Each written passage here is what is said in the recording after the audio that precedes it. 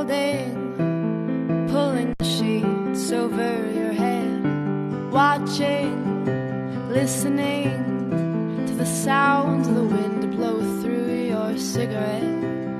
We're walking through the change of the seasons, wondering where the light went, holding on to a cup of coffee. and.